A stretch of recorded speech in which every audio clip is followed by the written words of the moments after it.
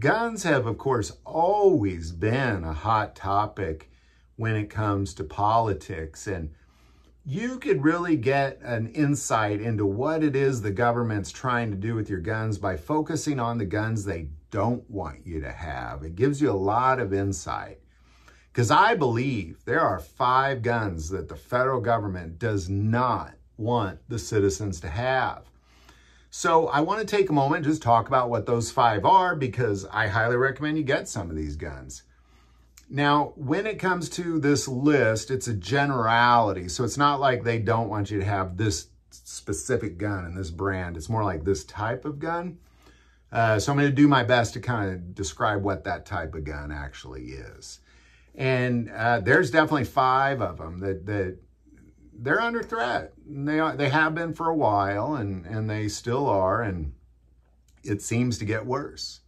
Uh, so here's the top five guns that the federal government does not want you to have. Number one is really any firearm that has a pistol grip, is semi-automatic, takes magazines, and has some sort of a stock. So that would be, um, and not even SLA stock. Let's just stick with those, just pistol grip, um, magazine, semi-automatic, rifle style. And what you're looking at is you're looking at the ARs, you're looking at the AKs, you're looking at the AR pistols and the AK pistols. These are the big one. These are the big ones. These are the ones that everybody that's against guns have designated as assault weapons. Um, and again, you're looking at AR, AKs, and then the pistol versions of both those things. Um, and there's a lot of variables of other guns like that. But again, you're looking at a, a, a semi-automatic magazine-fed pistol grip with some sort of a stock. I know the pistols don't have them, but they're not necessarily like a traditional handgun. They're, they're definitely still fitting that same concept. And that one is the big one. That's one that if, if they could get rid of those, they would celebrate a huge victory uh, when it comes to taking away your Second Amendment rights. All right, number two, 50 caliber rifles. Now, 50 caliber rifles are kind of a new target by the federal government, but uh, they are a target. They don't want citizens having 50 caliber weapons, whether it be a, just a single shot or a semi-automatic or a bolt rifle. They do not want the citizens having 50 caliber rifles. Obviously, if you have a 50 caliber rifle, you spend a ton of money on it. You spend a ton of money on ammo. You're probably a long distance shooter. Uh, they're just a hoot to shoot for sure. A lot of fun, uh, especially if you do any long range shooting. Man, it's one of the best. It's so much fun to shoot those things, but they don't want you to have them. So 50 calibers, those are coming and going pretty quick when it comes to people's desires. But again, in the end, they don't want you to have them. Number three, this one's a little tough to explain, so let me do my best. A full capacity handgun semi-automatic. So that would be like a Glock 17, uh, Glock 19, really just any sort of double stack, any handgun that's semi-automatic and takes more than 10 rounds. Let's put it that way. Uh, let's keep it simple.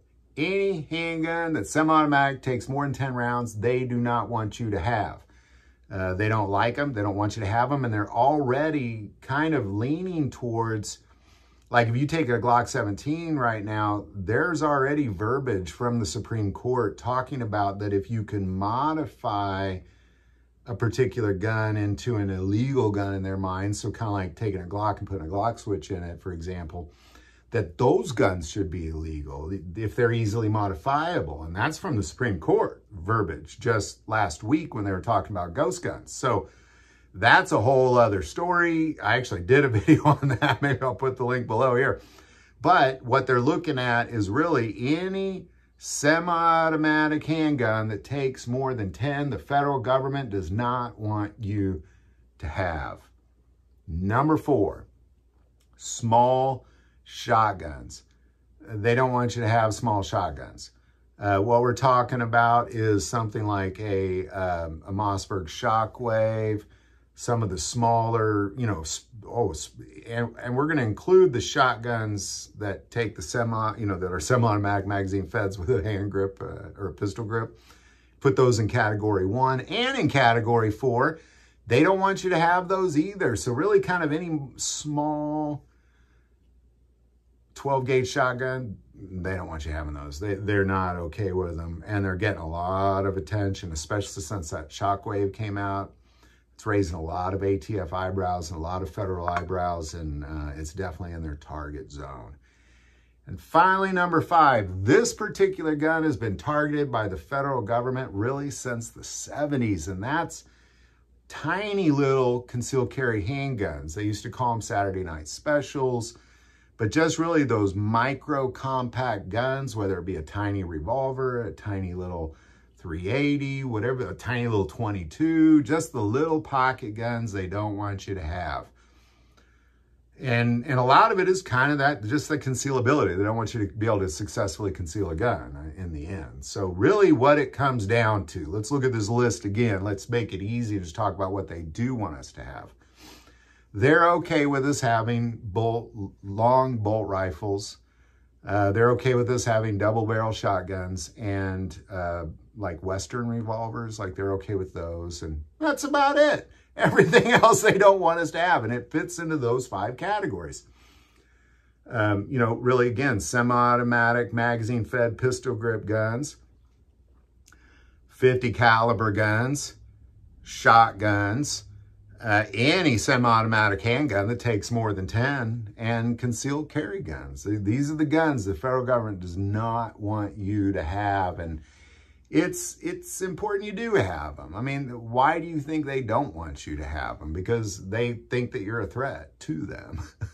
now, by the way, all these politicians, they got people guarding them with all those guns I just mentioned, but you know, that's a whole other story. So there you go. There's what I believe to be the five guns the federal government does not want you to have.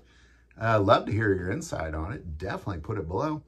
Do want to take a moment, say most people watch the channel, hey, they're not subscribers. Click that subscribe button. It greatly increases the algorithm and our ability to get these messages out. That link is below.